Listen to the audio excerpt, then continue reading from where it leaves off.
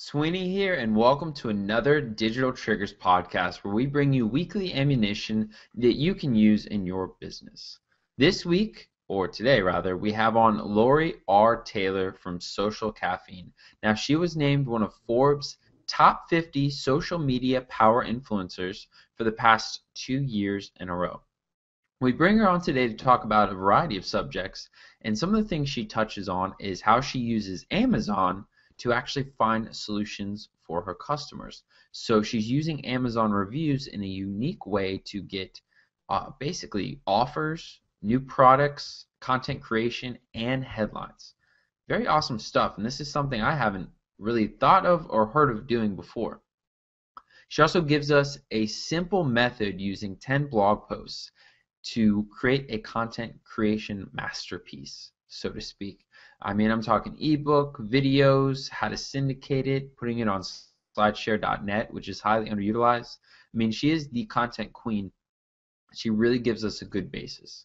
Check it out. Sell a cooking product, okay, uh, raw product in, in cooking book. You can put that in there, and guess what you should be reading? The reviews.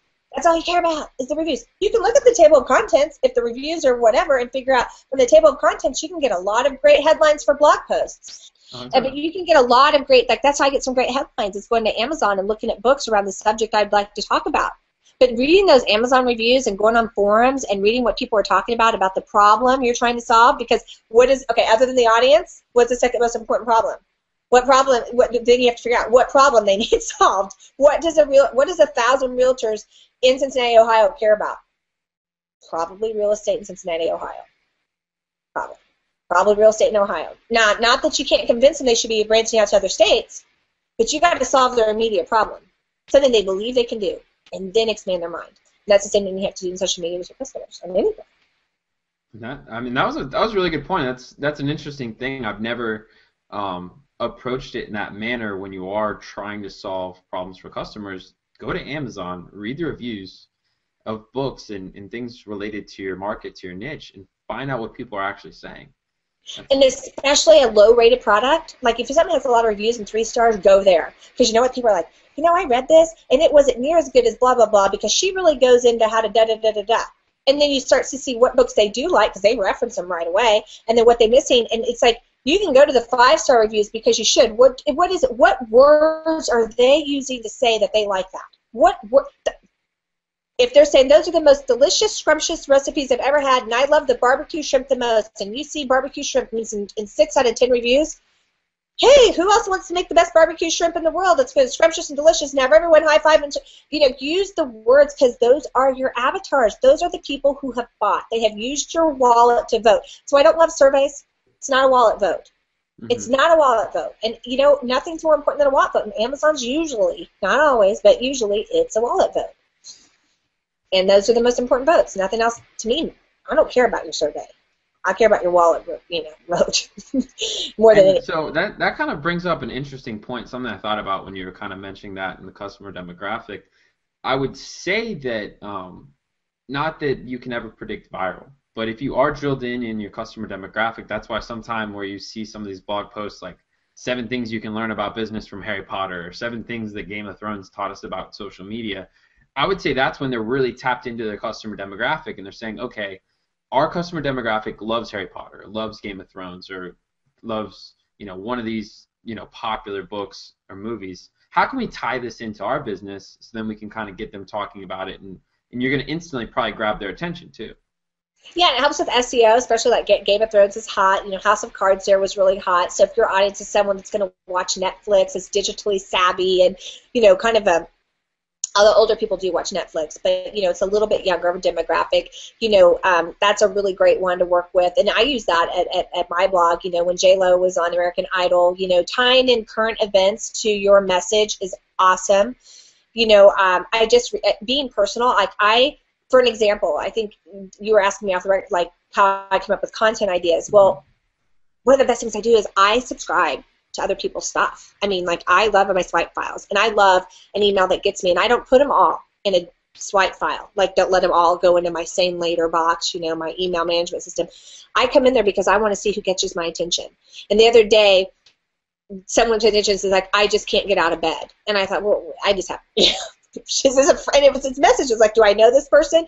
And I read it, and he was talking about his dad died, and uh, and it was beautiful. It wasn't too personal. It was kind of something I could relate to if anyone had a dad or you loved your dad. And I mean, I can tear up now thinking about this email. It was so well done, and at the end, it was talking about what's important in life and where you should really prioritize your business as it relates to being personal. And I'm actually going to, I sent him back email, and, and he sells a product, but he didn't talk about his product. He was just building, he was sharing something with his audience, and didn't mention his product at all in this particular email, and it wasn't a waste of my time because it was meaningful and it was well done, and um, it was a personal development guy, and and so then I took the email and I'm putting it at my blog and I'm writing a blog post as when is an email to TMI, you know, just right. So it's like, what would Goldilocks say about this email? Is it, you know, is this right, just too cold, too hot, whatever, or is it just perfect? And for me, it was just perfect. But that's something I'll, I'll write, and because I write more normal uh, headlines, like you know, three ways to do this, it'll get get big. People, they're going to read it, right? Now, if I did it all the time,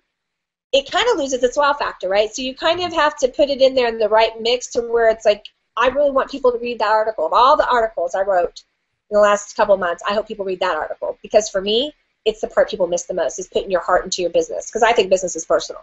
When you're trying to write a book, I always tell people if you could think of a book on Amazon as uh, an ebook, you know, as 10 blog posts, you would have an ebook, right? If you just came out, so you have the, the thousand word posts, 10, find the 10 best titles out there you can around your subject, tweak them, and then pick those your chapters, and then write to them I mean, that is the easiest way. And guess what you could do? You were talking about content creation. So here's the cool thing. Let's say you want to write, let's say I want to write a book on how to rock Facebook, uh, uh right?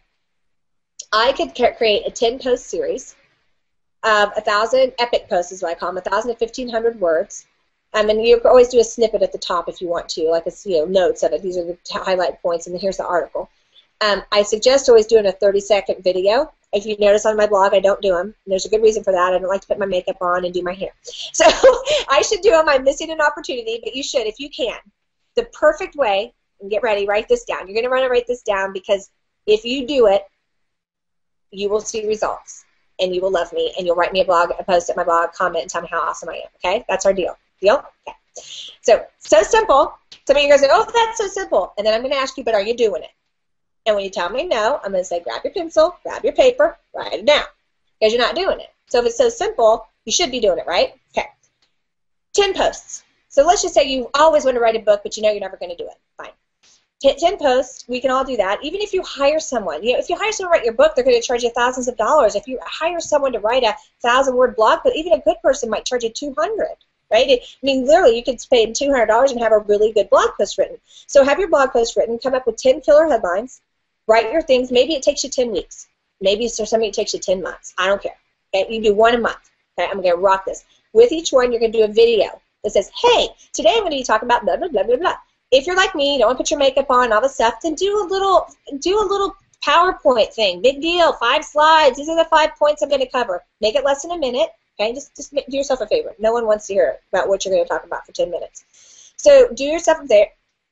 Do your little YouTube thing put it at YouTube, right? Because you're going to link there because that's going to help you get some juice. So now you have 10 videos at the end of this. You have 10 blog posts at the end of this. Oh, I'm sorry, did I mention that for your post you need to have an image? You should have an image, something compelling that leads to it with maybe a caption. So you create that. Now you have to, it's not hard, not hard to grab an image, people. Don't steal. Go to Shutterstock. It's really cheap to do it.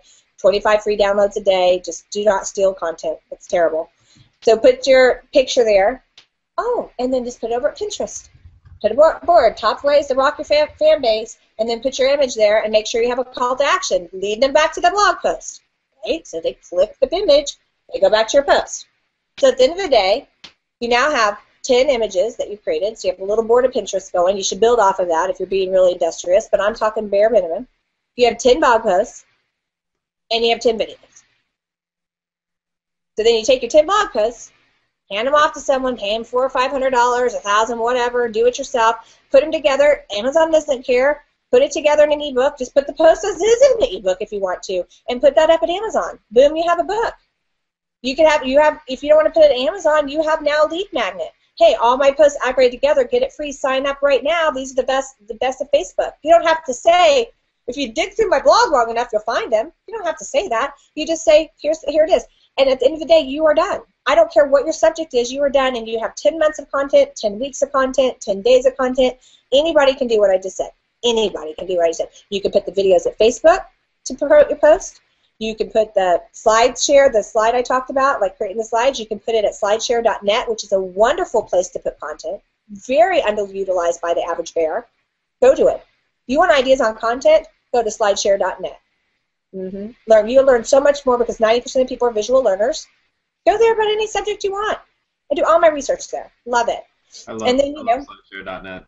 I, I do too, and most people, it's so underutilized, you know. And so, and th- that's just a really simple way to actually, at the end of the day, if you did what I said, you'd have more done than you have right now. And it's not hard what I just said. And you just have a little book at the end, little ebook you give away free. You want to be in, try and sell it for 99 cents, a dollar or something on Amazon, you could. I mean, whatever. But at the end of the day, you're just trying to create content for yourself. And if that's your strategy, you could do it all the time. I hope you enjoyed listening. If you want to watch the full interview, head on over to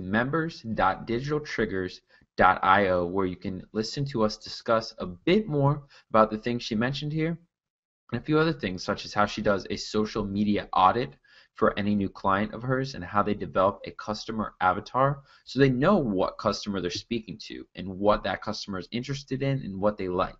This is the key to really hitting home runs with content marketing. Now, we also talk about how to have your own voice in social media and in doing content, blog content. We also discuss some of the different tools that she's currently using and some new tools that she's had uh, good success with or heard about good success with. For example, Thunderclap. And lastly, we talk about an easy strategy that she's been using with some of her clients using images that has gotten a lot of engagement and done really well on Facebook. So head on over to members.digitaltriggers.io to check that out. Hope you guys enjoy it. Hope you guys enjoyed the podcast. I really hope to see you again next week. As always, please, please, please leave a review or rating. And uh, you guys have a good one.